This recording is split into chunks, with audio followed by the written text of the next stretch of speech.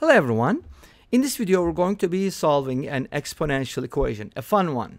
So we have this exponential power tower, 2 to the power x to the power x to the power x to the power dot dot dot, so on and so forth. All these are x's after the 2, and that is equal to square root of 2. Uh, we're going to find the value of x from here. Now, we're going to be doing a lot of different things. Uh, I'm going to show you a graph at the end, and we're also going to be looking at some, you know, uh, convergence, uh, you know, interesting stuff like calculus, uh, so on and so forth. Okay, let's get started. So now, I want to do the following. First of all, 2 to the power something equals square root of 2. So can I write the square root of 2 as 2 to the power 1 half? And that tells me right away, since the bases are the same, that this whole expression is equivalent to 1 half. But what is that expression? That is the critical part. So we have x to the power, x to the power, x to the power, dot, dot, dot, equals 1 half. Can we solve this equation? And the answer is yes. How? So we're going to look at this expression from, you know, different perspectives from a functional perspective. You can also look at it from a limit perspective. You can define a sequence. You can say, hey, x sub 1 is this, and then x sub n is defined as x to the power, you know, x sub uh, n minus 1, uh, and so on and so forth. Anyways, there are so many ways. We're just going to keep it light. So notice that this expression contains itself infinitely many times. So if you look at the exponent, the whole thing as an exponent, it's the same thing as the original because it's, look at it, x to the power, x to the power, x just goes on forever. So if this original expression is equal to 1 half, then this must also equal 1 half. This simplifies the problem a great deal. Of course, that's not the end of the story, but at least it gives us a clue. So we get x to the power 1 half equals 1 half, which is kind of interesting. It's kind of like x to the power y equals y. Uh, anyways, and we'll talk about that later. So from here, I can do the following. x to the power 1 half means square root of x, right? For the most part. And from here, we can square both sides and we'll get the x value. x equals 1 fourth. Great. Okay. Let's see if this is acceptable. Now, or when is this value acceptable? So we're going to look at it from a functional perspective. Suppose and forget about all the x's and other variables. Suppose we have y to the power y to the power y dot dot dot is equal to a certain x value. Then from here, as you know, we've done this before, right? Just, just now. This is the same thing as x. So we get y to the power x equals x. And then since x does not equal 0, because that would kind of be meaningless, right? We can raise both sides to the power of 1 over x. So y would be x to the power 1 over x. Yes, this is the function I was looking for. So this is a really nice function. I'll show you the graph of it at the end. But let's go ahead and do a little bit of calculus on this. And don't get scared when I say calculus, because calculus is actually easy. At least the rules, like you differentiate. There are certain rules which you follow to differentiate. Okay? So that's what we're going to do. We're going to differentiate this function. But before that, uh, let's go ahead and bring down the 1 over x. So we're going to ln both sides first. Let's go ahead and do it. ln y equals ln x to the power 1 over x. And then if you bring down the 1 over x, you get ln y equals 1 over x ln x, or you can write ln y equals ln x over x, which is cool.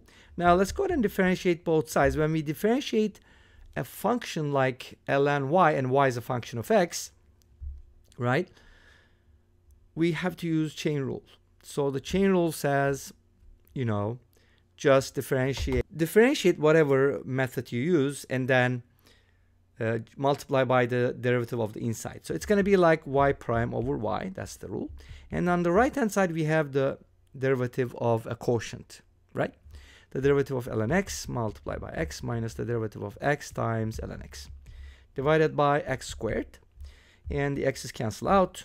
And y is the original function right here. We're going to replace that and cross multiply. So it's going to look like this.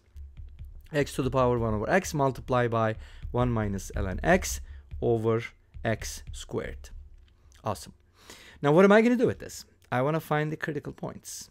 Does this function, the graph of the function, have any horizontal tangents. In other words, the derivative changes from positive to negative or negative to positive.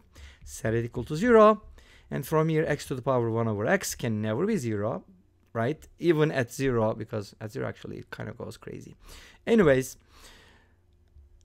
1 minus ln x can be 0, right?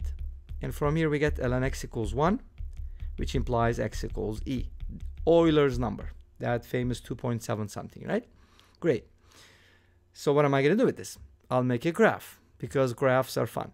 Not like a graph of a function, but uh, actually not a graph. Why did I call it? I don't know. It's uh, we'll make a table. Okay, but no. First of all, notice that if x is greater than e, then 1 minus ln x is going to be less than 0 because it's going to be greater than 1. Make sense? So that's going to make the derivative negative because that's the only thing that changes. These are always non-negative or positive, I should say, because x squared is at the bottom, so x cannot be 0 anyways. So the only thing that changes is by this one. So what do we do? From here, uh, we can make a table. Let's go ahead and make a table. And on our table, we're going to have three rows kind of. This is x, this is y prime row, and this is the y row. And here I'm going to place my critical value, which is x equals e, because this is the x row, right? So I'm gonna, uh, this is going to be e, and I'm gonna put a zero there, which means uh, y prime is zero at x equals e. Make sense? Okay. Now notice that we found out if x is greater than e, then derivative is negative. So our derivative is gonna derivative is gonna be negative here and positive here. It changes, of course, at e, right? You know that. Now this is cool because first derivative tells us whether the function is increasing or decreasing on an interval. Our function is increasing first and then decreasing. Great. That means it's going to have a max at x equals e. But x equals e implies that y is e to the power 1 over e. So this is the y value. And guess what? This is the maximum y value you can get. So in other words, y, y values cannot exceed e to the power 1 over e, which is approximately 1.44. Okay, great. So for example, if you have, and remember our original expression was like y to the power y to the power dot dot dot, and it's equal to x, and we don't want y to exceed e to the power 1 over e. So for example, if, what happens if y is equal to 2?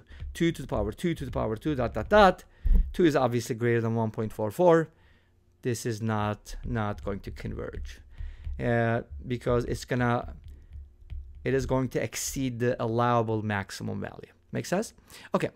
But if you have square root of 2 to the power square root of 2 and then square root of, and I believe I made a video, I'll share this right here if I did, and this converges because square root of 2 is less than 1.44. Or, to be more exact, this number is less than e to the power 1 over e. Therefore, this is going to converge. Great. So, what does this tell us?